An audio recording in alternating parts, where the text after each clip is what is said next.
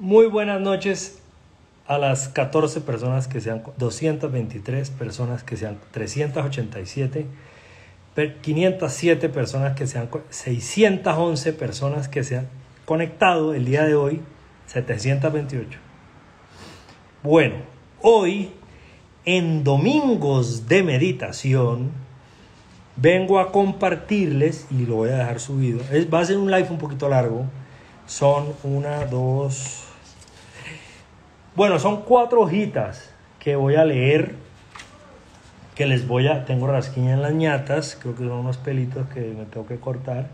María Fernanda, I love you. Forever my love. Bien. Lunes de meditation, ¿qué dije? ¿Domingo? Perdón. Domingos de meditation, my people, hermosa gente. Bueno, maricos, voy a compartir con ustedes hoy la meditación number 4 del libro Una llamada al amor. Se los presento, muy hermoso, de Messier Mr. Anthony de Melo SG. Nice shit. Lunes de meditación. Bien. Eh, este live de hoy, este video, es para todo aquel que hoy se esté sintiendo como el culo es para ti.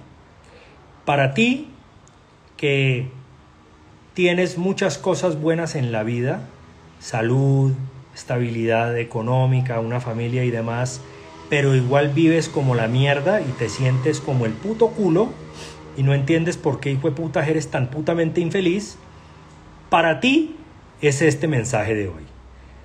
Si por el contrario eres pleno y feliz y vives la verga, retírate porque este mensaje no es para ti. Quiero que hoy solamente nos encontremos los que nos sentimos como el culo. Bienvenido amigo, que te sientes hoy como el culo. Que tienes todo en la vida para ser feliz, pero aún así te sientes como el culo. Y vives como la mierda. Y todos los putos días te levantas sintiéndote como el culo. Para ti es este live. Repito, si eres feliz, open the parch, you are not invited here You vive feliz con tu vida. Esto es solo para los que nos sentimos como el culo. Bien, dicho esto, ya que solamente estamos aquí los que nos sentimos como el culo y tenemos una vida de culo, para ustedes este mensaje. Bien. entonces, oigan esta mierda, hijo de esto es muy tenaz. Dice así. ¿Has pensado alguna vez que has sido programado para ser infeliz? Repito, ¿has pensado alguna vez que has sido programado para ser infeliz? Y que por lo tanto hagas lo que hagas para obtener o sentirte feliz, estás abocado al hijo de puta fracaso? ¿Has pensado? Te voy a decir que si quieres ser feliz no necesitas hacer ningún tipo de esfuerzo, ni siquiera necesitas buena voluntad o buenos deseos, sino comprender con claridad de qué manera has sido programado. Y esto es lo que ha ocurrido. Párenle bolas, huevones, que esto es muy hijo de puta. Tu sociedad, tu cultura, tus amigos, tus profesores, tus papás, tus tíos, tus primos, tus abuelos, tus eh, canciones, tus poemas, tus pinturas, tu literatura, tus películas, tus obras de teatro, tus tías solteronas, eh, todo lo que te rodea desde que naciste, maricos, te ha enseñado a creer, huevones, de que no puedes ser feliz sin determinadas personas o cosas. ¿Correcto? Entonces este man dice, echa un vistazo a tu alrededor y verás que por todas partes hay personas que en realidad han construido sus vidas sobre la creencia de que sin determinadas cosas no pueden ser felices. Ejemplo, sin plata, sin poder, sin éxito, sin aceptación, sin fama, sin amor, sin matrimonio, sin amistad, sin espiritualidad, sin Dios, sin alcohol, sin comida, etcétera, etcétera, no pueden ser felices. Analiza cuál es tu combinación.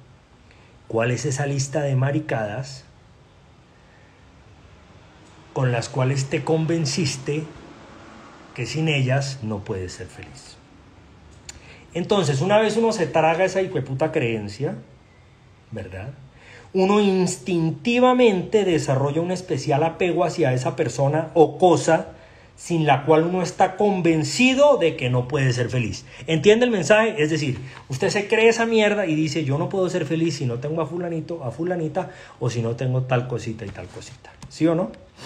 Y de ahí para allá vienen unos esfuerzos increíbles por adquirir la mierda esa, aferrarse y fue puta esa mierda una vez uno la consigue y eliminar toda posibilidad de perder aquella cosa o aquella persona eh, a la cual uno decidió apegarse y uno decidió que sin esa mierda no puede ser feliz.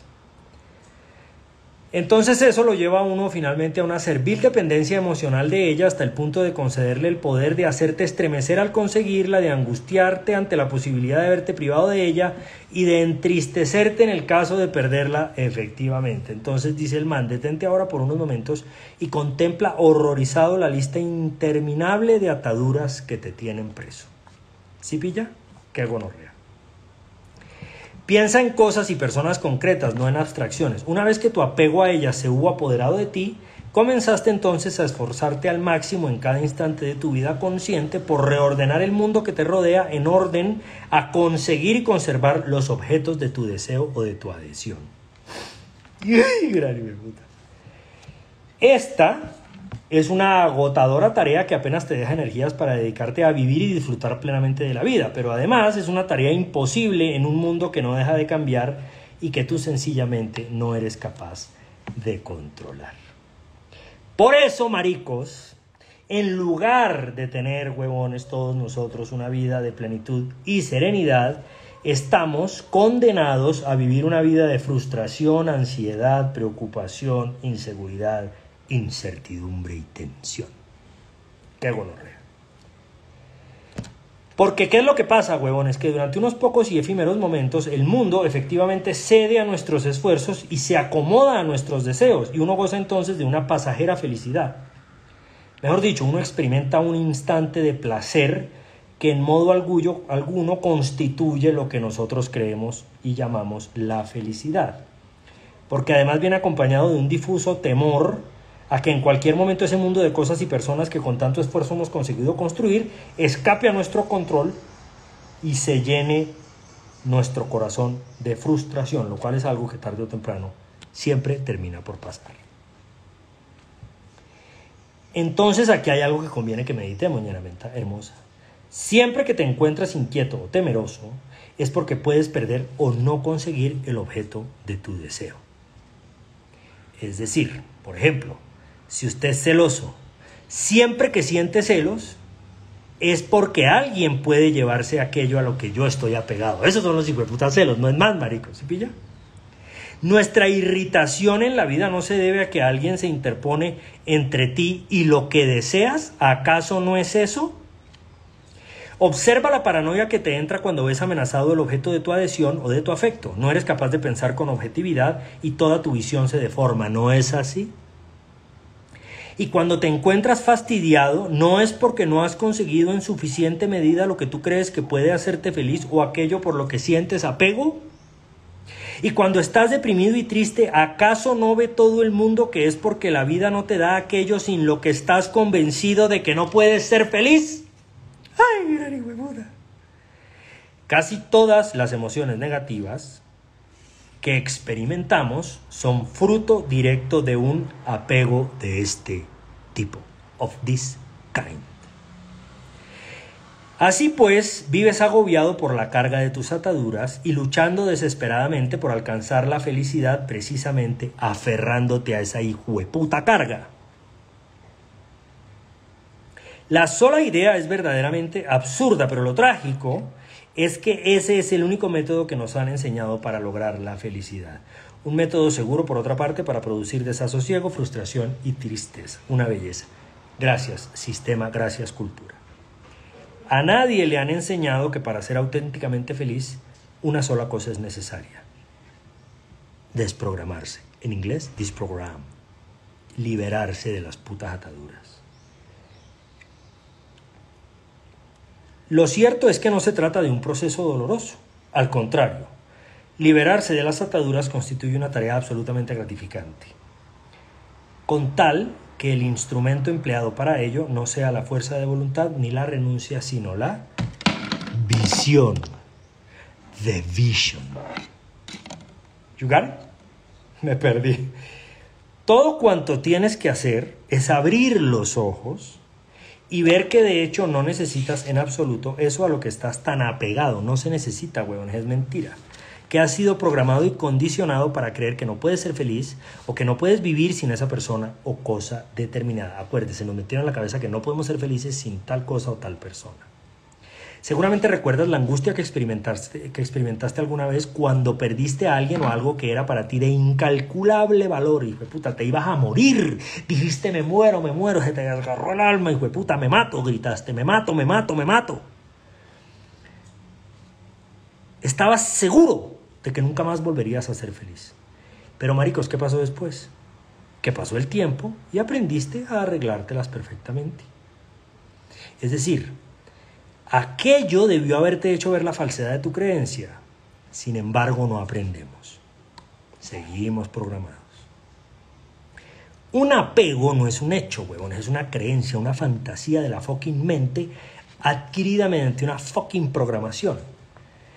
Si esa fantasía no existiera en tu mente, no estarías apegado. Amarías las cosas y a las personas y disfrutarías de ellas. Pero al no existir la creencia, disfrutarías de ellas sin ataduras de ningún tipo. ¿Existe de hecho otra forma de disfrutar realmente de algo? Pasa revista a todos tus apegos y ataduras y dile a cada persona u objeto que te venga a la mente lo siguiente, abro comillas. En realidad no estoy apegado a ti en absoluto. Tan solo estoy engañándome a mí mismo creyendo que sin ti no puedo ser feliz. Limítate a hacer esto con toda honradez y verás el cambio que se produce en ti. Repito, abro comillas, en realidad no estoy apegado a ti en lo absoluto. Tan solo estoy engañándome a mí mismo creyendo que sin ti no puedo ser feliz. That without you I cannot be happy. Thank you very much, my friends. Eh, hoy compartíamos esta reflexión, la meditación number 4 de Una llamada al amor, libro que me estoy leyendo ahora.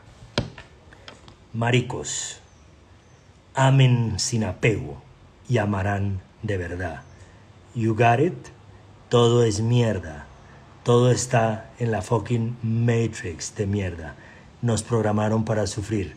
Stop suffering. Desapégate de toda mierda. Libérate. And be happy, my friend.